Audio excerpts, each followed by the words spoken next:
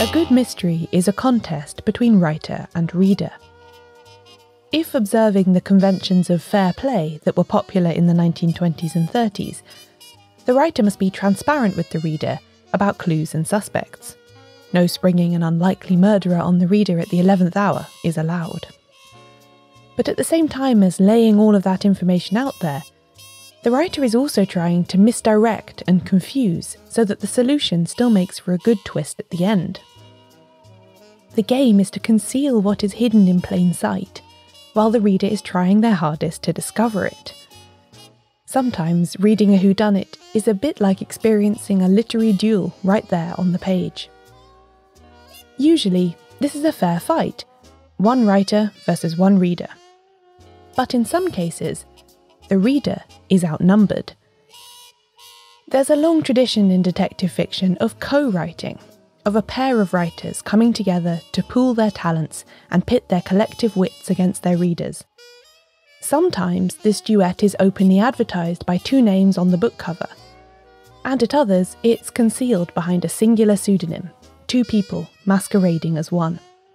Either way, it's a fascinating way to write a book, and I've long wondered how and why it was done.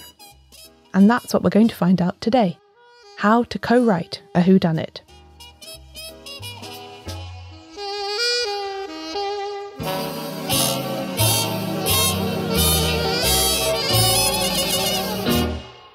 Welcome to Shedunnit. I'm Caroline Crampton.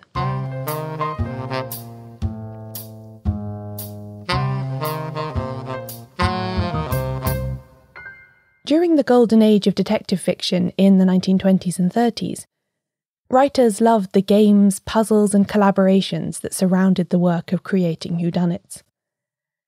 The specific style of crime fiction that was popular at the time grew out of the so called puzzle craze after the First World War, where activities like treasure hunts, crosswords, and jigsaw puzzles were all the rage, and books that involved some element of challenge or surprise were created in the same vein. The formation of the Detection Club in the early 1930s greatly assisted the production of collaborative stories that played the game in this way. I did an episode back in 2019 all about the round robin stories like The Floating Admiral that members wrote together, a chapter at a time.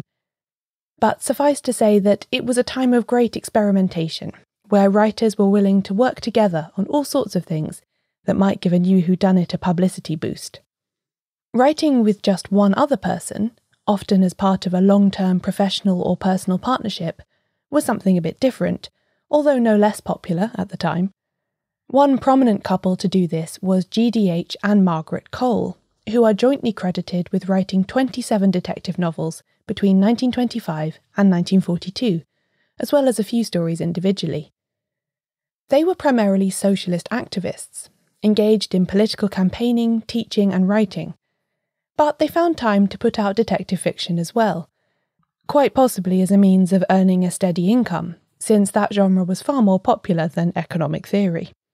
However, as Margaret explains in the biography she published of her husband after his death, GDH and Margaret Cole was what she called a trade name, rather than necessarily a true reflection of a joint enterprise. She notes that at times when he was very busy on other projects, Detective novels were published under this joint name that her husband had not contributed to at all, and for others, his contribution was far greater than hers. In his book, The Spectrum of English Murder, Curtis Evans estimates that Margaret probably wrote 10 of the joint detective novels mostly herself, and her husband the majority of the remaining 17. Interestingly, there wasn't such a disconnect between their academic work and their crime fiction as we might assume today. Margaret wrote that in the mid 1920s there was a certain intellectual excitement around the possibility of the fair play detective novel, and all of her, quote, highly educated friends were buying, reading, and discussing the work of writers like E.C. Bentley, R. Austin Freeman, and Freeman Wills Crofts. It was perhaps natural then that the Coles would want to join in with this lucrative trend and try their hand at writing whodunits. In recognition of their prolific output together, they were both invited to become founding members of the Detection Club, and jointly they contributed the second chapter to the club's round robin novel, The Floating Admiral. Sadly, most or all of the Coles novels are now hard to get hold of, since they haven't yet attracted the kind of republication that other authors from the period have now enjoyed. They are also generally considered to be a bit uneven in quality, but as a product of a very successful literary partnership, I think they're fascinating. And if you ever see one in a second-hand bookshop, be sure to snap it up immediately. The Coles were not the only married couple in that interwar period to work together on detective fiction. The journalist Gordon Neil Stewart and the novelist Pamela Hansford Johnson married in 1936, and in the early days of the Second World War, they filled their time by writing a whodunit together.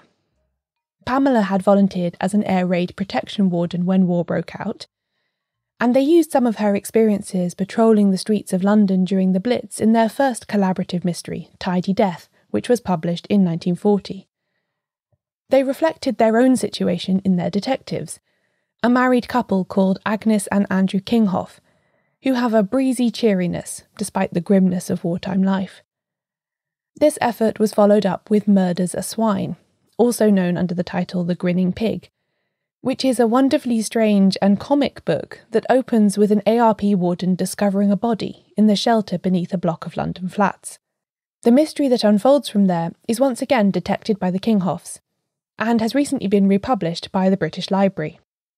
In his introduction to that edition, Martin Edwards admits that it's impossible to know how the two writers divided the work on the books, but that he expects that Pamela, with her existing experience as a novelist, did most of the writing, while Gordon probably took charge of working out the plot. The couple remained married through the war, but then divorced in 1949, and Pamela latterly married another writer, C.P. Snow, who, among many activities, wrote detective fiction. They collaborated on half a dozen plays together, but sadly didn't write whodunits as well. Of course, married couples were not the only co writers during the golden age of detective fiction. Friends Clemence Dane and Helen de Guerry Simpson were a case in point. They wrote three mysteries together, beginning with 1928's Enter Sir John. Dane, real name Winifred Ashton, was not primarily a crime writer and is much better known for her novel Regiment of Women and her plays. She worked in film too, winning the 1946 Academy Award for Best Story for the film Vacation from Marriage. It was the interest in theatre that brought Dane and Simpson together, though, with the latter already a playwright among other writing accomplishments. Their first joint novel is about a young actress who is tried for murder and defended by an actor manager named Sir John Saumarez, with help from a whole theatrical company. Elements of the plot inspired Dorothy L. Sayers' 1930 novel Strong Poison. Enter Sir John was adapted into a film by Alfred Hitchcock titled Murder! exclamation mark. A sequel to the book followed, but the writing partnership didn't endure. The friendship did, though. Simpson named her daughter Clemence after her friend's pseudonym. Again, there's little information about exactly how the pair went about writing their joint whodunits, but they seem to have been a genuine collaboration, with both writers equally credited in the serialization and the book publications. Speaking of friends writing mysteries together, it's also worth mentioning that Dorothy L. Sayers did this twice.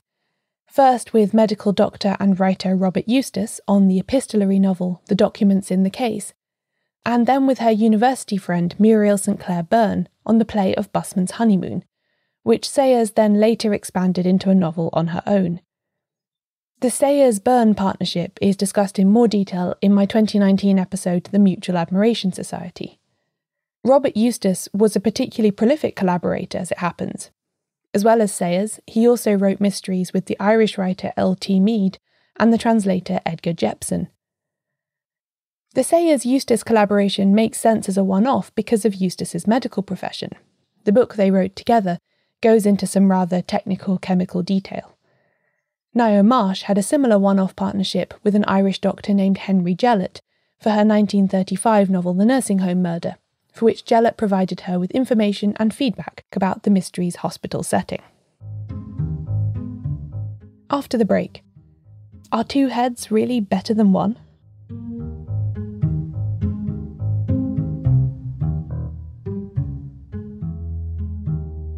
When you feel confident, you feel like you can do it all. And who says you can't? Whether you're running, biking, doing yoga, swimming, or sitting on your couch, Girlfriend Collective has clothes that you feel your best in, no matter what you're doing. Girlfriend Collective produces sustainable, ethically made activewear for everyone. They use recycled materials to make their clothing, and their shipping is 100% recyclable as well. It all comes in functional fabrics, colours, and styles for any activity. There's cute and comfortable bras, leggings, shorts, tanks, tees, swimsuits, and more. And their sizing is genuinely inclusive, ranging from extra extra small to 6XL. I really like that they think about who's going to be wearing their stuff and what they might do in it as well. Their best selling leggings actually have usable pockets and come in different levels of support depending on whether you're after compression or comfort. For listeners of the show, Girlfriend Collective is offering $25 off your purchase of $100 or more when you go to girlfriend.com slash shedunnit. That's $25 off $100 or more when you go to girlfriend.com slash shedunnit. That's girlfriend.com slash shedunnit. This episode is also sponsored by Beatrix Green, an audio fiction series from Realm. It's written by Rachel Hawkins, the New York Times best-selling author of The Wife Upstairs, and it's a historical horror set in 1892 that sees a group of sleuths trapped in a Victorian mansion with a vengeful ghost. Main character Beatrix is a spiritualist medium, and when she is approached by a scientist who wants her to conduct a seance in Ashbury Manor in return for a hefty fee, she feels that she has no choice go ahead with it and take the money, or risk being exposed as a fraud. It turns out, though, that the ghosts in this spooky mansion are very, very real, and they won't let Beatrix and her friends out until they get what they want. This is a great story to sink into as we head into autumn and the nights draw in. It's got great sound design, and the writing is really well paced, so you finish each episode wanting to start the next one straight away. The combination of mystery and spooky horror will suit lots of Shedunnit listeners perfectly, I think. Anyone who likes the Sherlock Holmes stories and TV shows like Crimson Peak will be really into it. Check out the whole Realm slate at realm.fm, and you can listen to Beatrix Green now. It's available wherever you get your podcasts. The writers who authored Mysteries Together in the 1930s and 40s did not, unfortunately, document their writing processes in the kind of detail that I would like. Obviously, they were working in a different technological age, novels were written longhand or on typewriters, and so the practical process of collaboration will have been in part governed by this. But I have a hunch that things won't have changed that much. And since the practice of friends or partners writing mysteries together continues to this day, I decided to make inquiries. That's how I ended up speaking to a couple who have written over a dozen novels together Cordelia Biddle and Steve Zettler, who together form the pseudonym Nero Blanc. They each write thrillers and other books under their own names, and wonderfully, it turns out that their collaboration began with something that we've already discussed on this podcast crosswords. I'll let Steve tell you how it all got started. We were searching for something to write together. I had published three thrillers, and Cordelia had published novels on her own as well. And we were I hate to say we're wonderful cooks, but we are. we, we love to cook. So a cookbook was a possibility. We love to travel. A travel book was a possibility. But what we would do at lunchtime, we would sit down and put the New York Times crossword puzzle between us. And as we were eating lunch, we would work the crossword puzzle. I'm going to interrupt just for a second because we couldn't talk about our own work because if I was working on something, Steve was working on something different. So we would do the crossword puzzle as a means of just having a conversation that wasn't. And then I thought I would do this with my characters and Steve doing the same thing. Yeah. So I'll let you continue. Now, one of the great advantages of this was it, it, I learned how to write with my left hand because if I picked up the pen to fill in some of the answers, I would have to do it with my left hand because the puzzle was on my left hand side. But anyway, we were doing the, the puzzle one day, and there was a wonderful editor of the crossword puzzles at the New York Times called Eugene Maleska.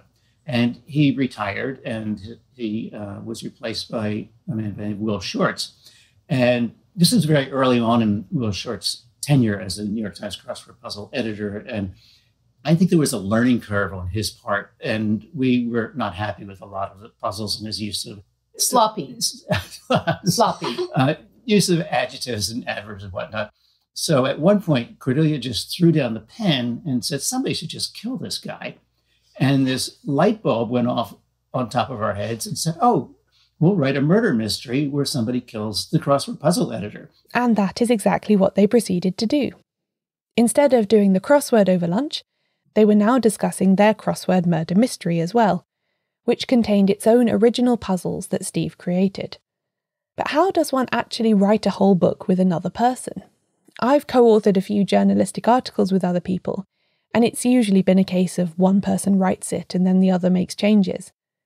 But for Cordelia and Steve, it seems that they were both involved in every line. We, split it up. We take chapters. I, I tend because it, you know, I, my thrillers are you know macho stuff, sort of. So you know, scenes that would take place in the in the police headquarters or whatever, chapter take place in the police headquarters or in a bar or something like that.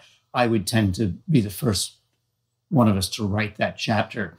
If it was a wonderful older woman who becomes sort of a mentor for the young crossword puzzle editor, then I would so, take so, those so, chapters. So Cordelia would take those chapters and and there's constant push and shove in all these books where the detective is trying to solve a crime and the crossword puzzle editor is keeps sticking her nose in and and going off on her own. And he's constantly saying this is dangerous. There's a murderer out there. You should not be you know you sh- you've got to be more careful. And so there's a bit of that that goes on in the, in the book as well. I would take those chapters and Cordelia take other chapters but then i would rewrite her chapters. She would rewrite my chapters. And we found in the end, there was this voice in the middle that was not either one of us, but the voice of Nero Blanc. Cordelia and Steve have very different styles when they write on their own. Their thrillers are probably what would be described as dark, and indeed, Cordelia cheerfully said at one point in our interview that her own style is, quote, grim. But when they together inhabited the persona of Nero Blanc, what they produced is nothing like what either of them do separately. And that seems to emerge from their process of going over and over each other's work until they can hardly remember who wrote what. We did so many rewrites, and because you know Steve would take a chapter, then I would rewrite it, then he would rewrite it, then I would rewrite it. It was probably a waste of time to do it that way. But as Steve said, then we ended up with this entirely different voice, which is Nero Blanc. So Steve has a very good sense of humor. I have none.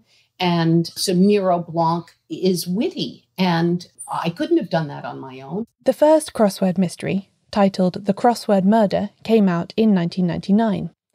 And to Cordelia and Steve's surprise, their lunchtime amusement project was so popular with readers that they were asked to keep going. Well, we didn't even think it was going to be a series. We just thought, well, this is really fun to do.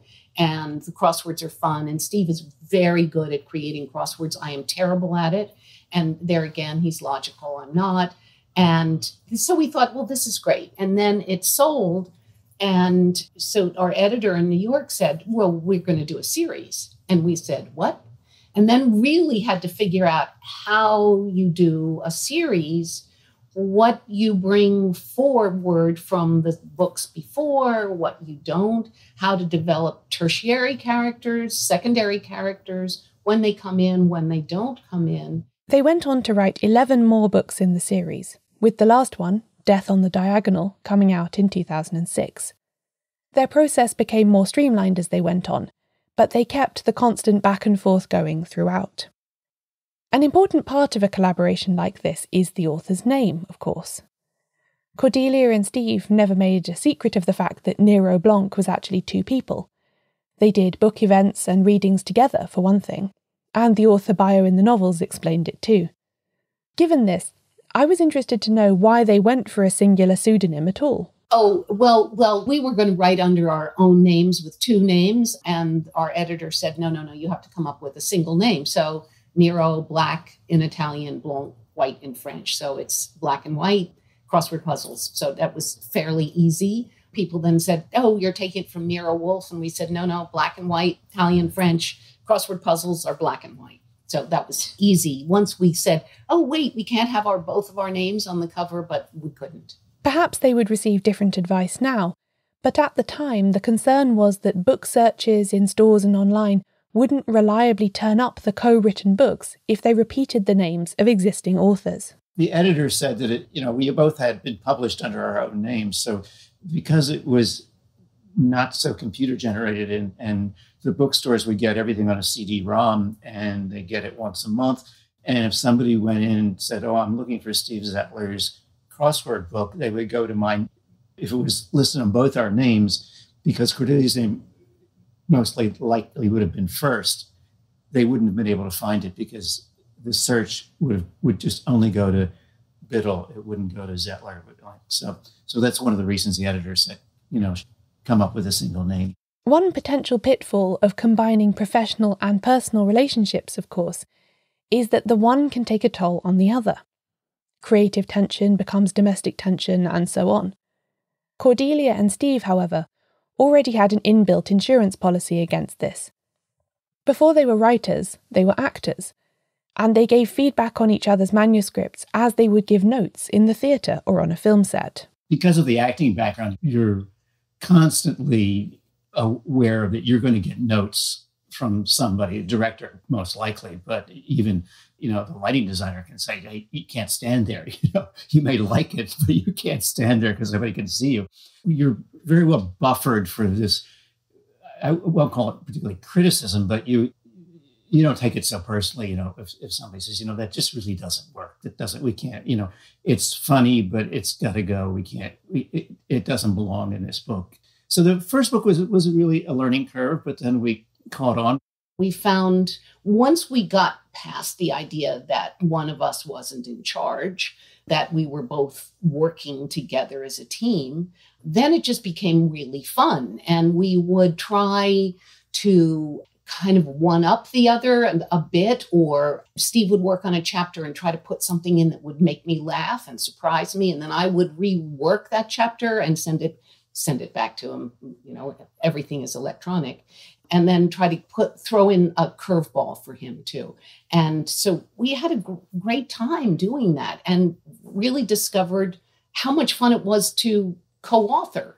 Also, they had to consider the other inhabitants of their house. They can't get writing get too stressful or heated because it upsets their dog. If one of us sighs, the dog is very unhappy. So we have to make certain that nobody sighs in anger, frustration at the computer, something goes wrong electronically, because then the dog will go from Steve's office, where she likes to hang out on all the pillows, to my office because woe betide her. Steve has sighed in anger at his computer. We've learned to be pleasant all the time, just really for our doggie's sake. So there we have it the perfect recipe for harmoniously co authoring a Golden Age style murder mystery. Enjoy the process, accept feedback with good grace, and get a dog.